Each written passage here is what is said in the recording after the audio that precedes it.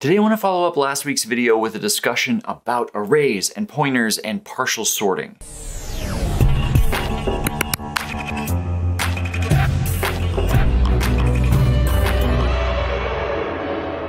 Hey everybody, welcome back. Today's video is based on a comment that came after last week's video, which if you haven't seen it, it was about sorting and qsort and why in the world so often when we're sorting things do we end up with pointers to pointers, you know, that double asterisk thing that just drives people crazy. And so the question that made me think we needed another video on this was this one, which asked basically, excuse me, can we sort partially, like just one half of the array? And the short answer is yes, we can, but I think this is an opportunity to talk a little more about fundamentally what arrays are in C, how they work, and why this works, where maybe this wouldn't work quite as well in another language, at least without some additional API support. But before we jump into specifics, I just a huge thanks to all of you who help support this channel, who make it work, either by providing support through Patreon, which is where you can get access to source code and my office hours, and also by buying merch and sharing this with friends and just helping helping let people know that this resource is out there. I really do appreciate it. But now let's jump into the code. Okay, so this is the example we were looking at last time. We actually had two examples, this one that sorts a bunch of integers and this one that sorts structs that represent people. So this person struct here. And I'm just gonna sit here on example.c because they're all gonna work basically exactly the same. Now, the question here is,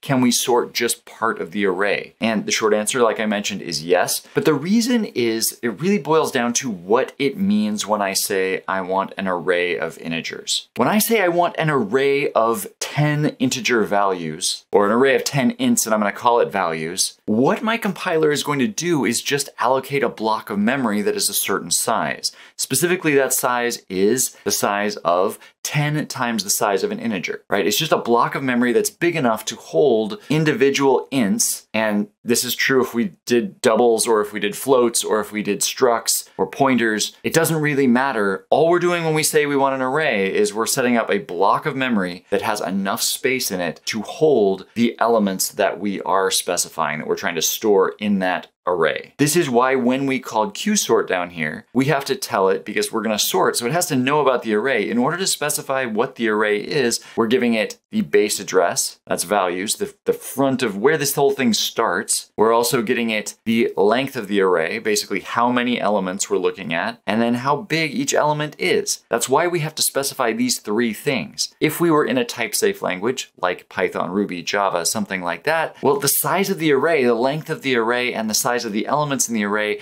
would be actually encoded in the data structure in the type. And so most of these languages give us the ability to actually query what the size is. And so you notice if you had a sort algorithm in Python, you're not going to get these three values. You're just going to say, here's my array, sort it. And so at some level, we could say this is kind of annoying, right? Because uh, C is making us type in more stuff. It's making us include more when we want to do something with an array. But the silver lining is that it does allow some flexibility. And that brings us back back to the question of can we do a partial sort here? Now, because just just to make sure everyone's on the same page, if we compile this, uh, which I guess, yeah, I already did before, if we run it, you can see, okay, we had 10 ints and we have sorted them, right? In this case, we're sorting by decreasing order. Now, what would happen if, let's say that I just wanted to, say, sort half of the array, right? Well, if I came down here, and let's just keep this around for now, but let's say that we wanted to come down here and say, sort the first five elements, well, all I would have to do here is say, hey, I want